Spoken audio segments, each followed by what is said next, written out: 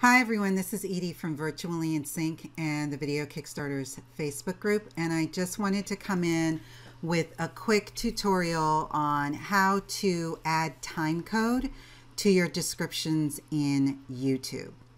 So once you've uploaded your video, and I recommend doing this for videos that are in, in excess of five minutes long, and it's just a way to create shortcuts so that your viewers can go to the most important parts of your video.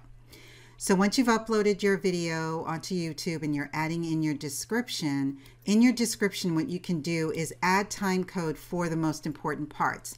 Now what I did in this example of this um, video, it's almost uh, almost an exact transcript of the video. It doesn't have to be a transcript. It can just be um, bullet points of just talking about specific things. But either way, it's it still works the same way. So it's a little time consuming, but all you would need to do is just start to play the video.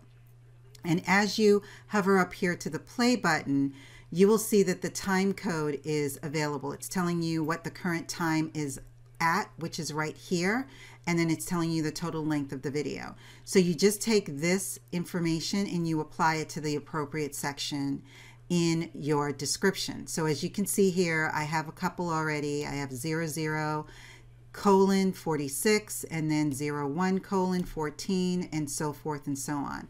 So all you would need to do is just continue on doing that until you are finished. And then when you're finished, you make a point of clicking up here to save. And then when you look at the video, once it's being viewable to your audience, you will then see that everywhere where you place the time code, it is clickable. So this is actually at the ad. So once you click on here, manager, and you would get to video it then jumps directly to where that time code is. So let's try that again. Let's do this one. Or your Google Plus. So you can see it came in at that point. So that's how you do it, and I hope you found this video helpful. Take care. Thanks for watching. If you enjoyed this video, Please make sure to like it, share it with your friends and colleagues, and do leave a comment below. Thanks again.